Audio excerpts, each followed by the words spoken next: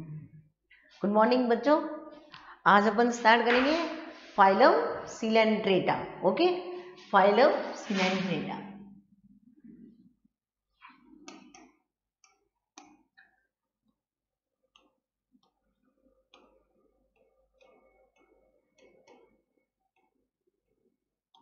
जिसका दूसरा नाम क्या है? फाइलम सिलेंट्रेटा का दूसरा नाम क्या है? Cnidaria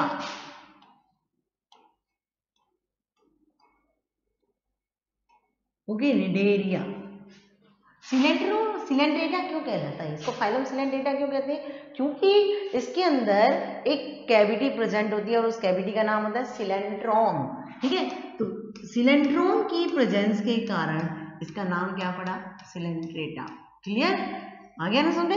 तो सिलेंड्रेटा सिलेंड्रेटा नाम क्यों पड़ा? क्योंकि इसके अंदर एक सिलेंड्रॉन गुहा पाई जाती है। और उस गुहा की उपस्थिति के कारण इसका नाम सिलेंड्रेटा पड़ा। और निडेरिया क्यों पड़ा? क्योंकि इसके अंदर क्या प्रेजेंट होती है? दंश कोशिकाएँ, जिसको आप निडोब्लास्ट सेल्स भी बोलते हो।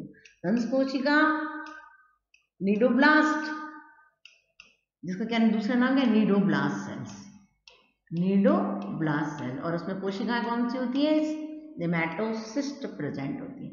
तो नीडोब्लास्ट प्रेजेंट होती है सेल्स, और इसी के कारण इसको क्या बोलते हैं? निडेरिया। दंश कोशिका प्रेजेंट होती है। दंश कोशिका नाम नहीं आए तो नीडोब्लास्ट लिखा हुआ आएगा। तो आपको ध्यान रखना है। ठीक है? इसी के कारण इसको सिलेंटेटा कहते हैं। अब सिलेंटेटा की जंतु कहाँ प्रेजेंट होते हैं? सिलेंटेटा के जो जंतु होते हैं, वो मोस्टली कैसे होते हैं? वो मोस्टली होते हैं ये सिलेंडेटा के जंतु समुद्री। कैसे होंगे? समुद्री होते हैं, ठीक है ना? तो एक सेकेंड कलर तो सिलेंडेटा के जंतु होते हैं समुद्री।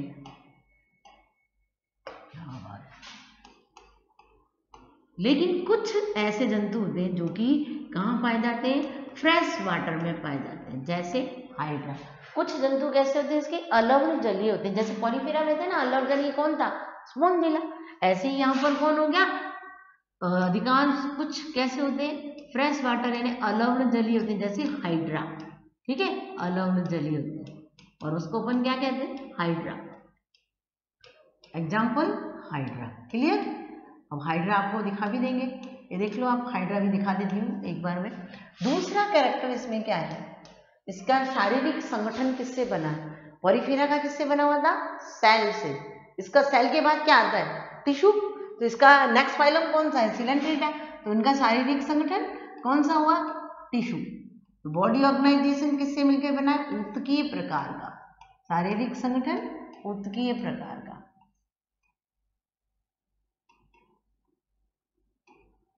क्लियर उत्कीय प्रकार का।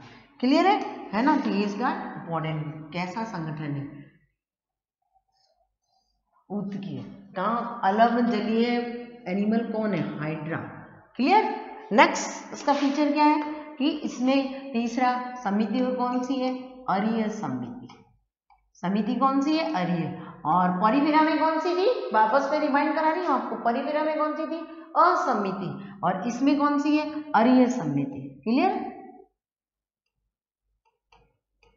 तो इसमें रेडियल सिमेट्री प्रेजेंट होती है। रेडियल सिमेट्री क्या होती है? बच्चों, में वापस आपको रिमाइंड करा रही हूँ कि जब जंतु को केंद्र के किसी भी अक्ष से काटा जाता है तो उसके दो बराबर भाग हो जाते हैं। याद रखना, किसी भी अक्ष से। ठीक है ना? केंद्र से गुजरने वाली किसी भी अक्ष से इसको काटा जाएगा तो इसके क्या हो जाएँगे? दो बराबर भाग हो जाते हैं। तो इसको अपन अरिय समिति कहते हैं। अरिय समिति प्रेजेंट नेक्स्ट द्विस्तरीय होते हैं। कितने स्तर है? दो स्तर। द्विस्तरीय कौन कौन से दो स्तर होते हैं? एक आउटर एक्टोडर्म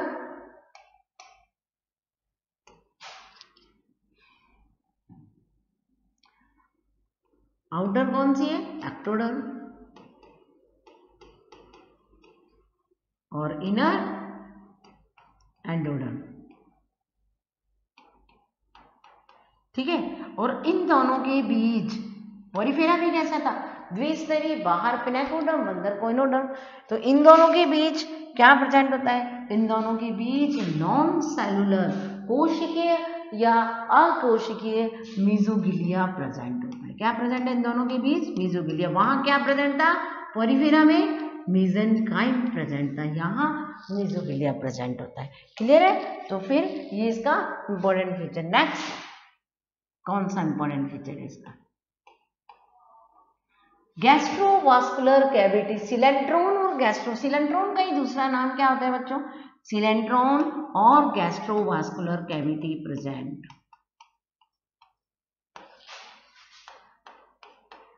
जठर वाहिनी गुहा। इसको क्या बोलते हैं हिंदी में? जठर वाहिनी गुहा। गैस्ट्रोवास्कुलर या जठर वाहिनी गुहा प्रेजेंट इसका काम क्या होता है? इसको क्यों बोला जठर वाहिनी? क्योंकि ये क्या काम करती है? ये दोनों काम करती है। देखो मैंने आपके हिंदी में लिख लिखा जठर वाहिनी गुहा गैस्ट्रोवास्कुलर क्या काम होती है? पाचन, भोजन का पाचन और फिर भोजन का वितरण पचे हुए भोजन का वितरण करती है। इसलिए इसको बोलते हैं गैस्ट्रो गैस्ट्रो का पाचन वास्कुलर मेथड डिस्ट्रीब्यूशन यानी क्या कर रही है? भोजन का पाचन और पचे हुए भोजन का वितरण करती है। इसीलिए इसको क्या कहते हैं? गैस्ट्रो वास्कुलर कैविटी कहते हैं। नेक्स्ट इसमें सिर्फ़ माउथ प्रेजेंट होता है। एनस एबसेंट माउथ प्रेजेंट ठीक है, मुख प्रेजेंट होता है एनस यानी एबसेंट होता है एनस अनुपस्थित, इसलिए कैसे किस टाइप की हो गई है? ब्लाइंड सेट ब्लाइंड सेट का मतलब क्या होता है बच्चों? जब केवल, यानी ब्लाइंड सेट टाइप की, यानी केवल माउथ और एनस के लिए एक ही पोर प्रेजेंट होता है। तो उसे ब्लाइंड ब्लाइंड सेक टाइप बोलते हैं। यानी केवल माउथ माउथ ही किसका काम कर रहा है? मुख का काम तो कर ही रहा है और एनस का काम भी माउथ ही करता है। इसलिए उसको ब्लाइंड सेक टाइप कहते हैं। क्लियर नेक्स्ट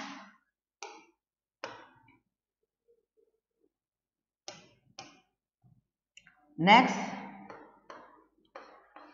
डाइजेशन कैसा होगा? पहले एक्स्ट्रा सेलुलर पाचन पाचन कैसा होगा? एक्स्ट्रा सेलुलर और फिर इंट्रा सेलुलर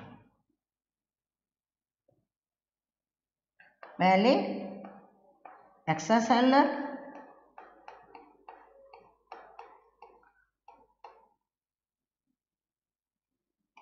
और फिर इंट्रासेलुलर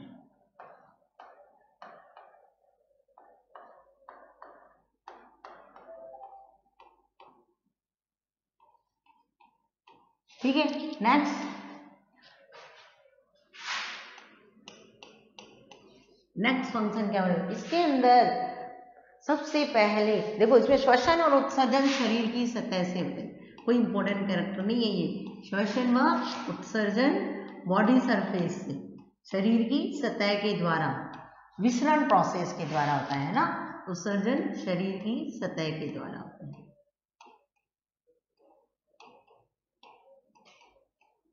इनमें दो फॉर्म प्रेजेंट होती है बच्चों। देखो, ये हाइड्रा है। हाइड्रा क्रैक कैसा है? फ्रेश वाटर स्पंज होता है। और इसमें जो कोनिकल आपको दिख रहा है ना, ये उभार जैसा संरचना, इसको अपन क्या कहते हैं? हम्म इसको क्या कहते हैं अपन? इसको कहते हैं, इस कॉनिकल शेप का, ये इस तरीके से उभार निकलता है, इसको बोलते हैं हाइपोस्टोम और इस हाइपोस्टोम पर क्या प्रेजेंट होते हैं? इस पर प्रेजेंट होते हैं माउथ और ये क्या है? इसके स्पर्शक या टेंटाकिल्स कहते हैं इनको, ठीक है? ये टेंटाकिल्स या स्पर्शक प्रेजेंट होते हैं। हाइपोस्टोम कॉनिकल शेप होता है, शंकु आकार का होता है और उस पर माउथ प्रेजेंट होता है। नेक्स्ट डायग्राम अपन देखा है, ये तो बाद में देखेंगे एग्ज़ाम्पल पहले अपन देखते हैं इसके फॉर्म ये दो रूपों में प्रेजेंट होता है। कौन? सिलेंडेटा के दो फॉर्म्स होते हैं। सिलेंडेटा के जो जंतु होते हैं, इनमें दो फॉर्म प्रेजेंट होती हैं। कौन कौन सी? नंबर एक पॉलिप भी क्या हो गया? हम्म नंबर एक पॉलिप और दूसरी होती है मेडुसा। ठीक है, पॉलिप व मेडूसा दो अवस्थाएँ प्रेजेंट होती है। कुछ एनिमल्स में, यानी जनरली क्या होता है कि सिलेडेटा की तीन क्लास है। उनमें से एक क्लास कौन सी हाइड्रोजोआ, जिसमें कि पॉलिप और मेडुसा दोनों होती है। दूसरी कौन सी है? साइफोजोआ, जिसमें सिर्फ़ मेडुसा अवस्था होती है। और तीसरी कौन सी है? एंथोजोआ, जिसमें केवल पॉलिप होती है। ठीक है? लेकिन वो आपके कोर्स में नहीं है, इसलिए मैं आपको उसके बारे में नहीं बता रही ज़्यादा। तो इसलिए मैंने जनरल बता दिया कि इसमें पॉलिप और मेडुसा दो अवस्थाएँ प्रेजेंट होती हैं। ठीक है? अब जैसे ये ओवेलिया है ये किसका एग्ज़ाम्पल है? ओवेलिया का। कौन है ये? ओवेलिया। इस ओवेलिया में भी दो फॉर्म प्रेजेंट है है ना? यानी हाइड्रोजोआ में भी जैसे होती है। पॉलिप अवस्था, ये पॉलिप अवस्था, ये पॉलिप ये पॉलिप कैसी होती है? ये जो पॉलिप है, ये पॉलिप देखो ये रहा, ये पॉलिप कैसी होती है? सिलेंड्रिकल फॉर्म में होती है, बेलनाकार होती है। कैसा आकार होता है इसका? बेलनाकार होता है। और इस पॉलिप कैसी होती है? स्थानबद्ध होती है सेसाइल होते हैं, जिसको क्या कहते हैं? सेसाइल या स्थानबद्ध होती है। दूसरा, और इस पॉलिप के द्वारा कौन सा रिप्रोडक्शन होता है? एसेक्चुअल यानी अलैंगिक जनन होता है। तो पॉलिप कैसी अवस्था है? बेलनाकार ठीक है? कैसी अवस्था है? बेलनाकार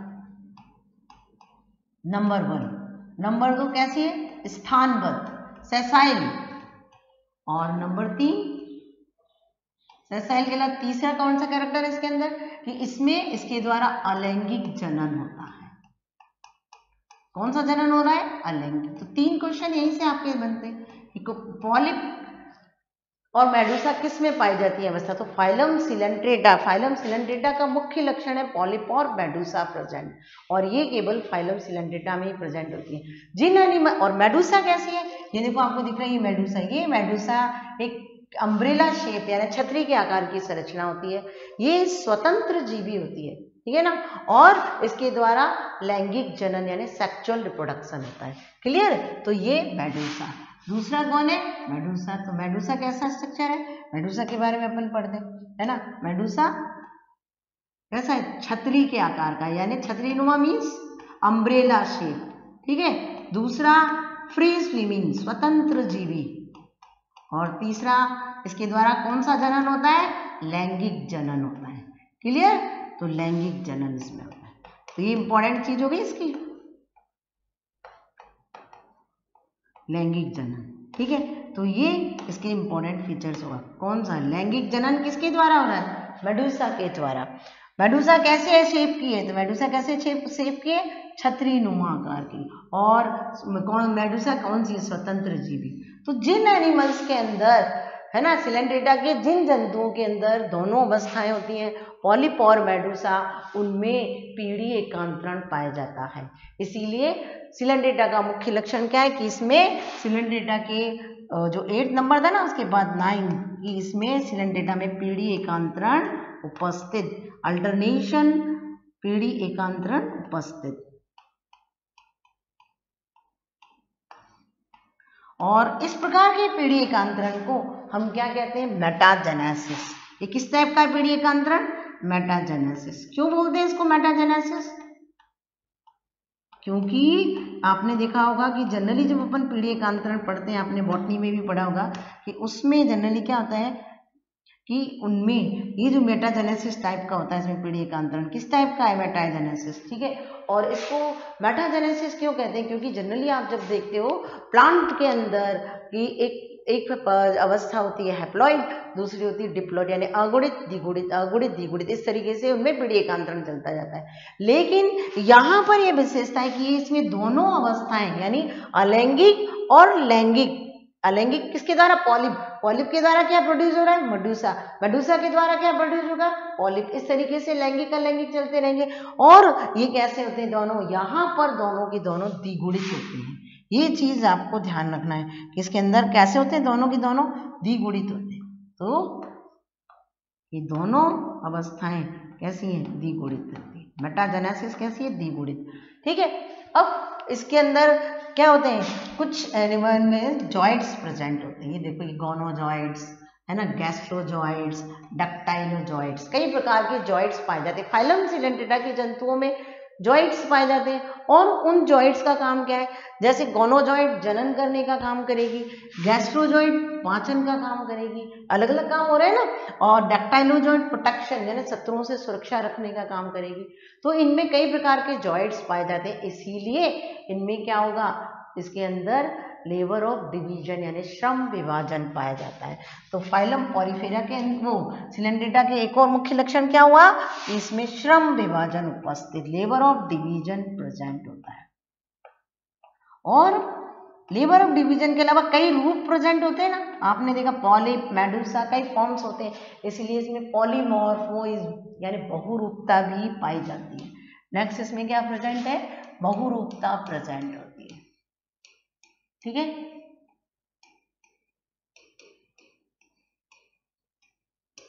फर्टिलाइजेशन एक्सटर्नल और इंटरनल दोनों होता है। निषेचन,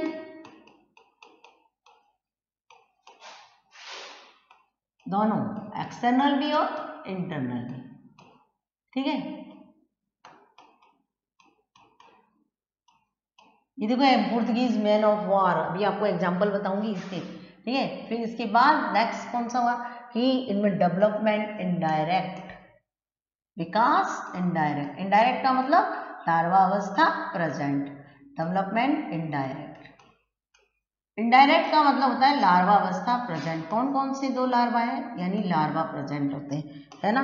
क्या प्रेजेंट होते हैं? लार्वा। तो लार्वा। उपस्थित कौन कौन से दो लार्वा है? एक तो इफायरा लार्वा जो कि जेलीफिश का है, और एक प्लेनुला लार्वा इफायरा लार्वा और प्लेनुला लार्वा ये कैसे होते हैं? उभयलिंगी। ये जो जंतु होते हैं इसके, वो कैसे होते हैं? उभयलिंगी, यानी मेल और फीमेल जन्नांग एक ही जंतु के अंदर उपस्थित होते हैं। तो ये उभयलिंगी जंतु होते हैं। अब इनका उदाहरण देखते हैं अपन। देखो, उसके उदाहरण बताती हूँ मैं आपको। कौन कौन से उदाहरण है? सबसे पहला, ये हाइड्रा ये कहाँ है? फ्रेश वाटर अलग जली होता ठीक है? दूसरा उदाहरण जेली फ़िश ये जेली फ़िश कहलाती है। इसको जेली की तरह बिल्कुल पारदर्शी होती है, इसलिए इसको जेली फ़िश कहते हैं। कैसी है ये? जेली फ़िश किस रूप में यदि है? अम्ब्रेला शेप के आकार की। दिख रहा है आपको अम्ब्रेला शेप के आकार की जेली फ़िश जिसको जनरली क्या बोलते हैं? ऑरिलिया ऑरिलिया का ही दूसरा नाम जेली फ़िश है। एग्ज़ाम्पल लिखती जाऊँगी। और ये ओबेलिया ओबेलिया को सी फर बोलते हैं। सी फर है ना? नेक्स्ट एग्ज़ाम्पल ये देखो, कौन सा? फाइसेलिया इसको पुर्तगीज मैन ऑफ़ वार यानी पुर्तगाल का लड़ाकू योद्धा बोलते हैं। क्यों? क्योंकि इसमें बहुत सारे जॉइंट्स होते हैं। और उसके द्वारा क्या करता है? इसमें अटैक करने का काम करता है। इसीलिए इसको क्या बोलते हैं? पुर्तगीज। और एक ये सी एनिमोन एडेंसिया जिसको बोलते हैं। सी एनिमोन है ना? और एडेंसिया कुछ क्या होते हैं? सिलेंड्रेट के एनिमल कि कुछ सिलेंड्रेट के जंतुओं के चारों तरफ़ कैल्शियम कार्बोनेट का डिपोजिशन होता है। और जब कैल्शियम कार्बोनेट का डिपोजिशन उनकी बॉडी के चारों तरफ़ होता है तो उसे अपन क्या कहते हैं? कोरल। आ गया ना? तो कुछ जंतु, कुछ सिलेंड्रेट्स में किसका डिपोजिशन है?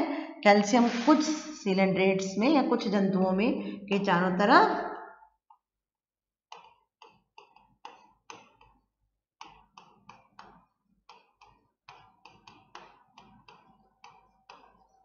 कैल्शियम कार्बोनेट का डिपोजिशन होता है।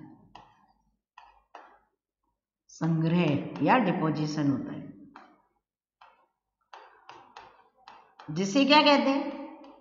जिसे कोरल कहते हैं। तो कोरल क्या है? कोरल के जब जंतुओं के चारों तरफ़ कैल्शियम कार्बोनेट का डिपोजिशन होता है तो उसे हम क्या कहते हैं? कोरल। आ गया? तो आपसे कोई पूछेगा, बताओ, कोरल किसमें प्रेजेंट है?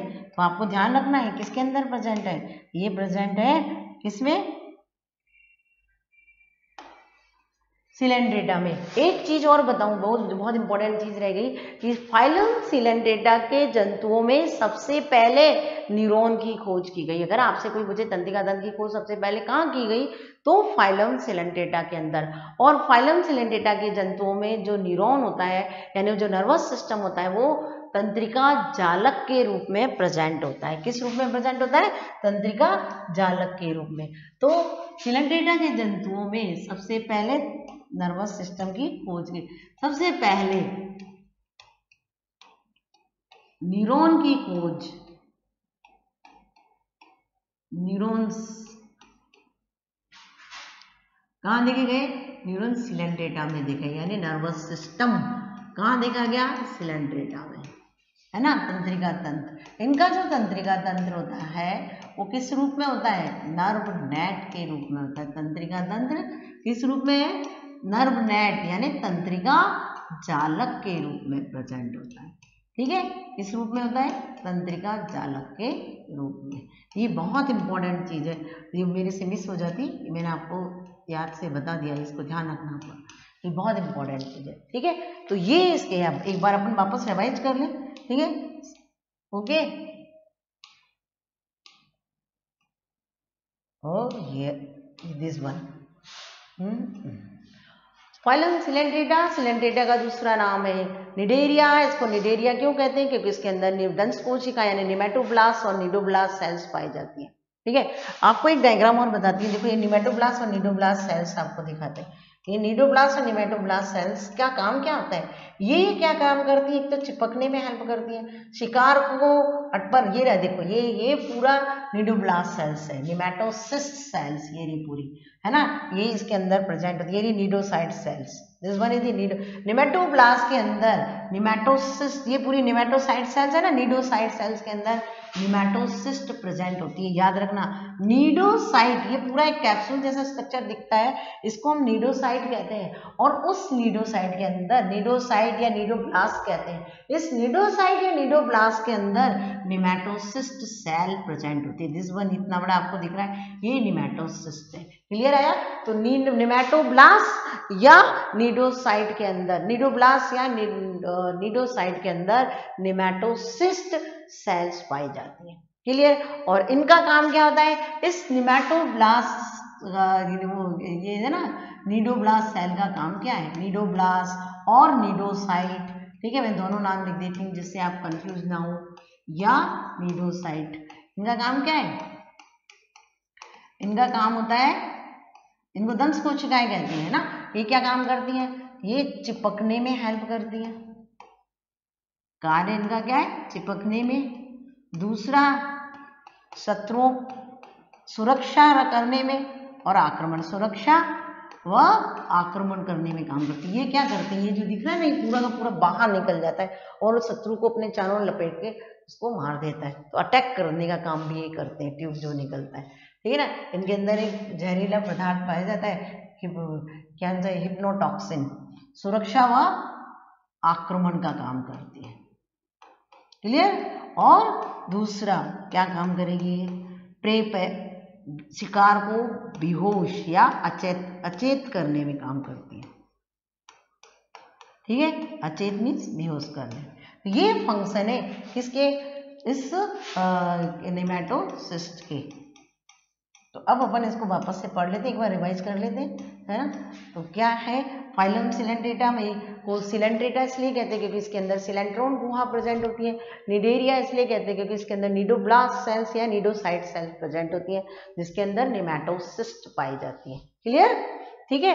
अब इसमें क्या सारे मोस्टली एनिमल कैसे होते हैं? मेराइन मैरीन होते हैं। मैरीन मतलब समुद्र में पाए जाते हैं। लेकिन कुछ जंतु फ्रेश वाटर में होते हैं, जैसे हाइड्रा समिति उसके शारीरिक संगठन, यानी शरीर किससे बना है? टिश्यू से सिमेट्री कौन सी है? और ये समृद्ध ए सिलोमेट भी होते हैं, द्विस्तरीय। एक और लिख लेना ए सिलोमेट अदेह गुई, है ना? अदेह गुई मतलब देह गुआ इनमें नहीं पाई जाती। अदेह गुई होते हैं। ठीक है ए सिलोमेट होते हैं अदेह गुई होते हैं, द्विस्तरीय। बाहर एक्टोडम अंदर एंडोडम दोनों के बीच कोशिकीय या अकोशिकीय बीजों के लिए पाया जाता है। सिलेंड्रोन या गैस्ट्रोवास्कुलर कैविटी। सिलेंड्रोन का ही दूसरा नाम क्या है? Gastrovascular cavity. ओके? ये किसका नाम है? इसका। गैस्ट्रोवास्कुलर कैविटी प्रेजेंट और सिलेंट्रोन प्रेजेंट। गैस्ट्रोवास्कुलर कैविटी क्यों बोलते हैं? क्योंकि पाचन और संबंध दोनों का कार्य करती है। माउथ प्रेजेंट होता है, एनस एबसेंट होता है। याद रखना, एनस नहीं पाया जाता, इसलिए माउथ ही एनस का कार्य करता है। जब ऐसा होता है तो उस टाइप को अपन कहते हैं ब्लाइंड सेक टाइप। क्लियर? पहले एक्स्ट्रा डाइजेशन होता है, फिर इंट्रासेलुलर डाइजेशन होता है। कैसा होगा? इंट्रासेलुलर डाइजेशन होगा फिर। हम्म?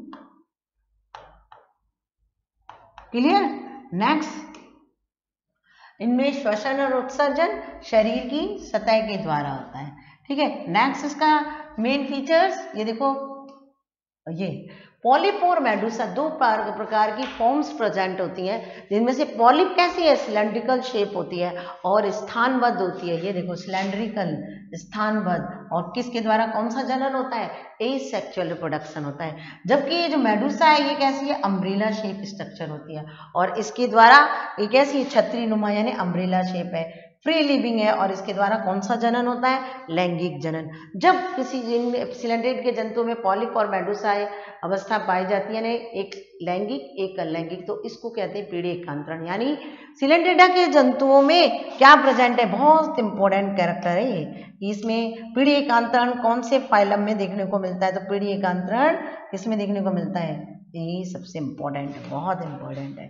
ठीक है? कि फाइलम सिलेंड्रेटा में देखने को मिलता है। और इस प्रकार की पीढ़ी का अंतरण को क्या कहते हैं? मेटाजेनेसिस क्यों कहते हैं? क्योंकि ये द्विगुणित होती हैं। और इनमें अलग अलग टाइप की क्या पाई जाती है? सेल्स प्रेजेंट होती है तो उनका फ़ंक्शन भी अलग होता है, इसलिए इनमें श्रम विभाजन पाई जाती है। बहुरूपता अलग अलग सेल्स होती है अलग अलग वर्क करती है, इसलिए इनमें बहुरूपता प्रेजेंट होती है। ठीक है? इसके अलावा, चलो fertilization external internal development larva कौन सा है? एक प्लेनुला किसका होता है ये? ओवेलिया का। एफायरा लार्वा किसका है? ऑरिलिया का। ये ऑरिलिया का लार्वा है, ठीक है? और ऑरिलिया मतलब जेली फ़िश अभी लिखा देंगे। और प्लेनुला मतलब ओवेलिया का लार्वा है। ये किसका लार्वा है? ओवेलिया का। क्लियर ये ओवेलिया का है। ठीक है, ये लार्वा उभयलिंगी जंतु होते हैं, यानी मेल और फीमेल एक ही में प्रेजेंट होते हैं। और कुछ जंतुओं के चारों तरफ़ किसका डिपोजिशन होता है? कैल्शियम कार्बोनेट का। और ऐसे एनिमल को अपन क्या कहते हैं? ऐसे एनिमल को अपन कहते हैं कोरल, ठीक है? और सबसे इंपॉर्टेंट चीज़ जो है, वो ये कि न्यूरॉन की खोज, यानी तंत्रिका तंत्र सबसे पहले कहाँ देखा गया? तो ये वेरी वेरी इंपॉर्टेंट ये कहाँ देखा गया? सिलेंड्रेटा के अंदर। और वो किस रूप में प्रेजेंट होता है? अब क्वेश्चन ऐसे भी आ सकता है कि हाइड्रा में किस टाइप का नर्वस सिस्टम होता है? क्योंकि हाइड्रा सिलेंड्रेट का आपको दिमाग में रखना है कि सिलेंड्रेट का है हाइड्रा तो हाइड्रा सिलेंड्रेटा में कैसा था? तंत्रिका जालक के रूप में। This one is most important है ना? तो ये बहुत इंपॉर्टेंट है। और इसके अलावा एग्ज़ाम्पल उदाहरण उदाहरण मैं आपको बता ही चुकी हूँ। एक तो ओवेलिया, जिसको सी सीफर कहते हैं। अभी अभी अपन ने देखा था, वापस दिखा देती हूँ। ओवेलिया का दूसरा नाम क्या है? सी सीफर ठीक है? ओके दूसरा ऑरिलिया। ऑरिलिया किसको कहते हैं? जेलीफिश अभी आपको डायग्राम से सारा दिखा देते हैं। ऑरिलिया जेलीफिश इसका दूसरा नाम क्या है? जेलीफिश क्लियर बिल्कुल पारदर्शी जेली के समान होती है। ये सी एनिमोन आपको बता ही दिया तीसरा एग्ज़ाम्पल ये फ़र्स्ट ये सेकंड और ये तीसरा सी एनिमोन या एडम्सिया ठीक है? इसके अलावा कौन सा होता है? एक और एग्ज़ाम्पल ये एक और ये बता ही दिया। है ना? नेक्स्ट एग्ज़ाम्पल और, और कौन सा है? पेनेटुला पेनेटुला को सी पेन कहते हैं। सी पेन समुद्री कलम, ठीक है? और हाइड्रा आपको पता ही है हाइड्रा फ्रेश वाटर में रहने वाला है अलग्न जली है। इसके अंदर नीडोप्लास या नीडोसाइड पाई जाती है। नीडोसाइड या नीडोप्लास के अंदर निमेटोसिस्ट प्रेजेंट होती हैं, जिनका काम क्या है? चिपकना, सुरक्षा और आक्रमण करने का काम और शिकार को अचेत करने का काम। It is also important because it is the main character of Coelenterata ये सिलेंड्रेटा का नेक्स्ट अब देखो इसके सबके डायग्राम का एग्जांपल मैं आपको दिखाती जाती हूँ। देखते जाओ। ये हाइड्रा बता चुकी हूँ मैं। हाइड्रा कैसा है? फ्रेश वाटर रेसिलेंट रेट है। ठीक है? दूसरा कौन सा है? ये जेलीफिश जेलीफिश अम्ब्रेला जैसी होती है और पारदर्शी होती है। है ना? नेक्स्ट ये ओवेलिया, जिसको सीफर कहते हैं, और इसमें पॉलिप और मेडुसा दोनों अवस्थाएँ रहती हैं। ये फाइसेलिया, एक और भाई फाइसेलिया पुर्तगाल का लड़ाकू योद्धा। क्यों बोलते हैं? क्योंकि इसमें कई प्रकार के जॉइंट्स होते हैं, वो अलग अलग अटैक करने में काम आते हैं। तो एक और इम्पोर्टेंट कौन सा हो गया? फाइसेलिया। वो भी मैं इससे ले हूँ। फाइसेलिया। पुर्तगाल का लड़ाकू योद्धा तो ये फाइलम कंप्लीट हुआ। कौन सा? सिलेंड्रेटा। पुर्तगाल का लड़ाकू योद्धा। पुर्तगाल का क्यों बोलते हैं? क्योंकि इसके जो टोप था, वो कैसा था? पुर्तगालियों के समान था। है ना? इसका जो शेप है ना, ये देखो आप ये ये जो शेप है, ये पुर्तगालियों के टोप के समान था, इसलिए इसका नाम पुर्तगाल का लड़ाकू योद्धा पड़ा, ठीक है?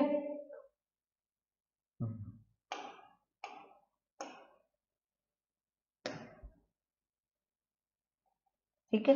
Clear okay thank you thank you very much